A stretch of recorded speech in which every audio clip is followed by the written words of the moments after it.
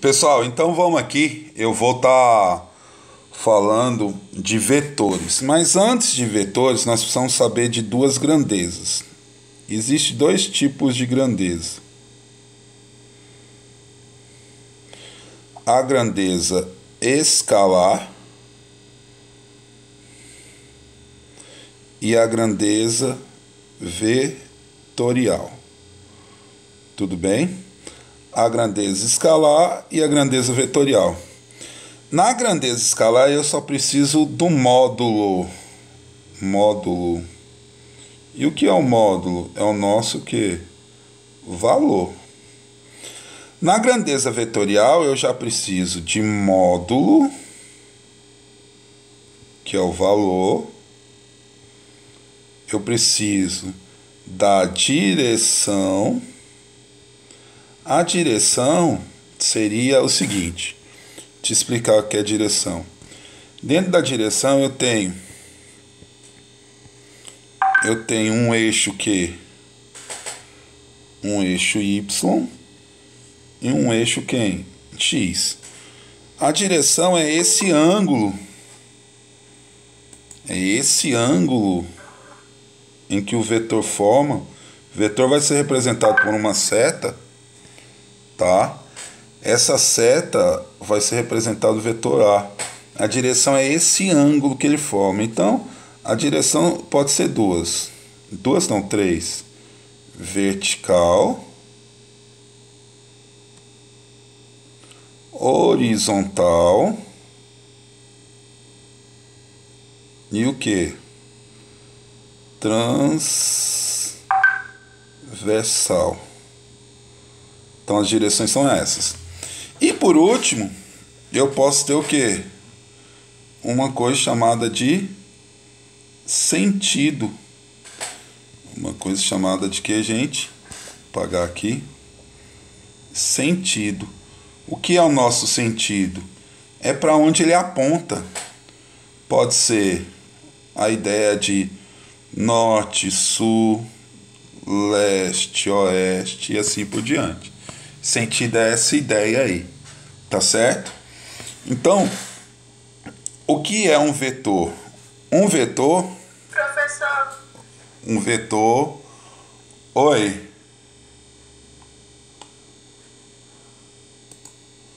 Um vetor, o nosso vetor, ele é o seguinte: o vetor ele é representado por uma seta. Nessa seta, o tamanho é o módulo, a horizontal para onde a horizontal é a sua direção e para onde ele aponta, ó, ele aponta para algum lugar, né? É o seu que sentido. Então, uma, um vetor ele é representado por isso. Então o que, que eu preciso saber? É como calcular, é somar, fazer operações com esses vetores, tá bom? Então, as grandezas que eu vou ter são as escalares vetoriais, e aí nós temos essa direção, o módulo, a direção e o sentido, para onde ele vai ser apontado, certo? Então, vamos continuar aí. Então, o que, que eu preciso saber? Fazer operações com vetores. Então, a primeira coisinha que eu vou precisar saber é fazer o que? Nós vamos aprender a fazer operações com vetores vamos aprender a fazer as operações com vetores. Que operações são essas, né?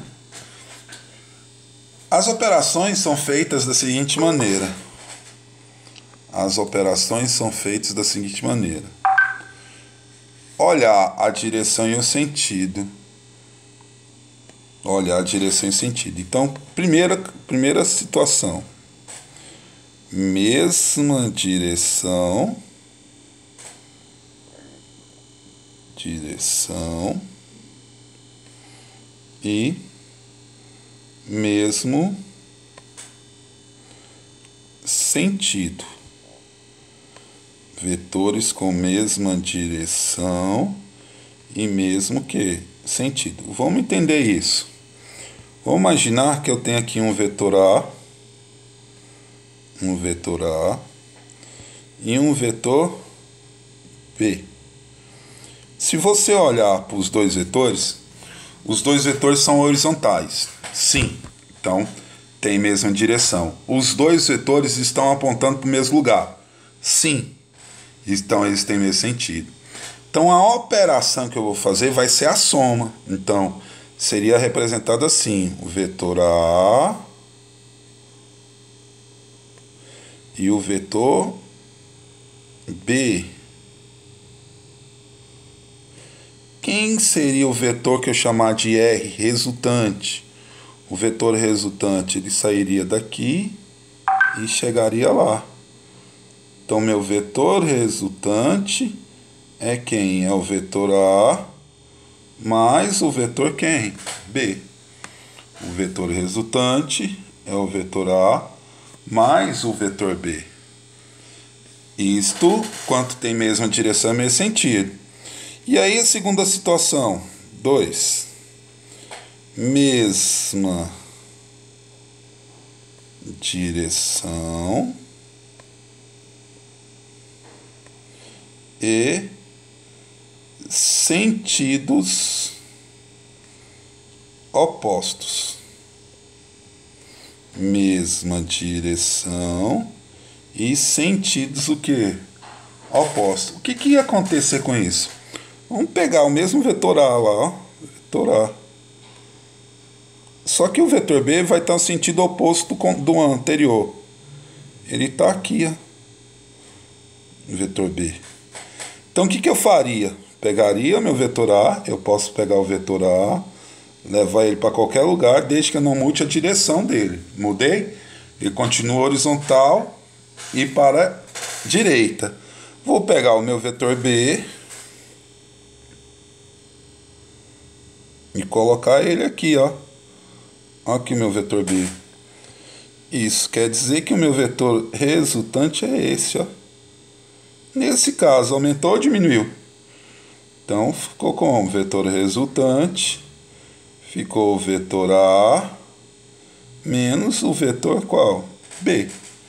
Vetor resultante é o vetor A menos o vetor B. Então, o que, que eu faço? com vetores com mesma direção e mesmo sentido, eu somo os valores. Vetores com mesma direção e sentidos opostos, eu subtraio os valores.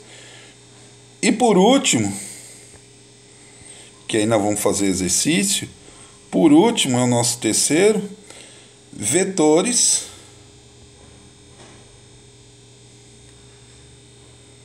que formam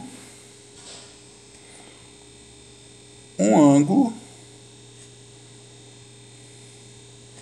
de 90 graus.